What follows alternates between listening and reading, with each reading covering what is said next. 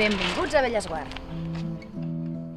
Així en rep l'Anna, la neta de l'actual propietària de la Torre Bellesguard, que ens convida a visitar casa seva, la joia modernista més desconeguda d'Antoni Gaudí i que a partir del 18 de setembre obrirà portes per primera vegada. La seva ubicació just als peus del Tibidabo no és casual i cal retrocedir fins al segle XIV amb Martí l'Humà per conèixer-la. Es diu que era un home molt malaltís, que vivia al centre de Barcelona i buscant un lloc amb uns aires més purs, fan esquarterar una cabra i col·loquen els diferents trossos al que és la falda de Collserola. L'últim tros que es podreix, que no es podreix, que es curteix, és el que col·loquen aquí i per això bategen a la finca com a Bellesguard.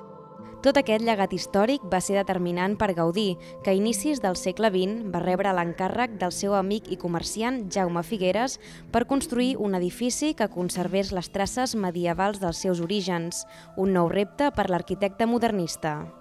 Veiem que per fer un castell, per fer les línies defensives, els merlets d'un castell, es veu obligat a utilitzar línies rectes, cosa que ell no utilitza mai perquè diu que en la natura no existeixen.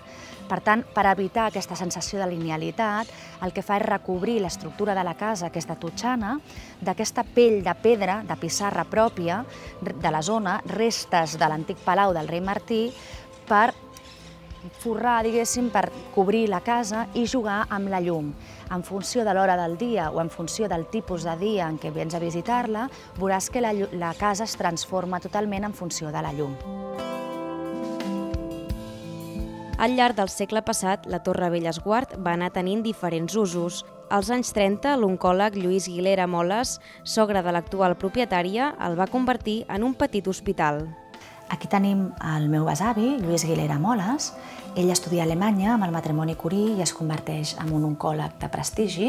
Per això, el 1944, compra Bellesguard per fer-hi un hospital. I serà el meu avi, Lluís Guilera Soler, qui heredarà l'hospital. Ell era ginecòleg i obstetra i continua sent un hospital fins l'any 74, que es traslada a l'hospital i ja queda com a residència familiar.